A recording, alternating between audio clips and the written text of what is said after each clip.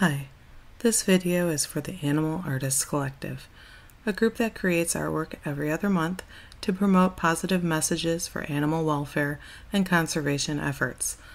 Each round, you can participate in a poll on Facebook where anyone can vote on which type of animal is chosen next. Due to an even tie on the last poll, unofficial participants were able to choose between ungulates or carnivores, while the official group decided to do ungulates last round and postpone carnivores to this round.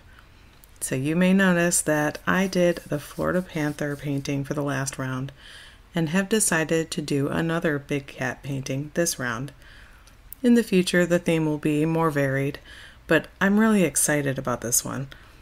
I was invited to be a guest artist this round, and when asked which of the over 280 species of mammals in the order Carnivora I'd like to paint, I chose the Iberian lynx. I couldn't help it, I love cats, and the lynx is a beautiful animal with a great story I'd like to share with you. These cats were on the brink of extinction before a small group of people took the time to study their numbers, the causes of their decline, and create a conservation plan. The Iberian lynx lived in the Iberian Peninsula, which includes the countries Spain and Portugal, but in the past they were also found in southern France. Their population was in decline until 2002, when a census showed only two tiny isolated groups remaining in southern Spain, together totaling under 100 adults, with only 25 of them being female. The Spanish government combined their efforts with nonprofit organizations like the EU Life Project and the World Wildlife Fund. After a persuasive campaign, the WWF convinced the Spanish authorities to address problems such as vehicle accidents, illegal hunting, and habitat loss. While those issues can be helped with preventative measures and legal actions, a really big issue is harder to solve and that would be food source. They almost entirely sustain themselves on a diet of rabbits. Unfortunately, rabbits are considered vermin, and as a pest hated by farmers for destroying crops, they have been hunted, trapped, and intentionally diseased to control their population.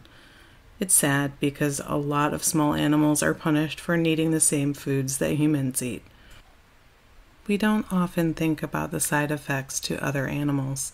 In my city, we've had a major decline in owl population due to people poisoning rats, which the owls then eat.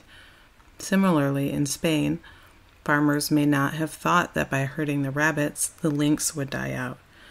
Because lynx females with babies need up to three rabbits a day, and the rabbits are hard to find, she must travel further causing more issues with roads and vehicle accidents.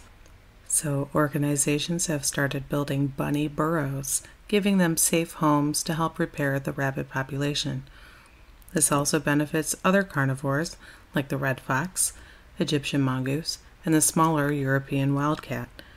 At this time, the Iberian lynx population has grown to over 400, but only with our help.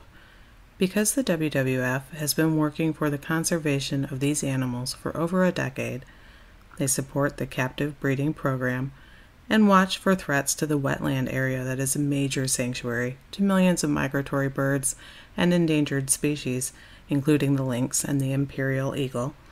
I'll be donating half the sale price of this painting to their organization.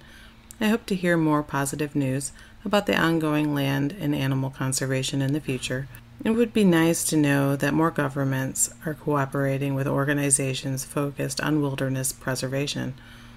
I'd also love to hear your thoughts. Let me know in the comments below.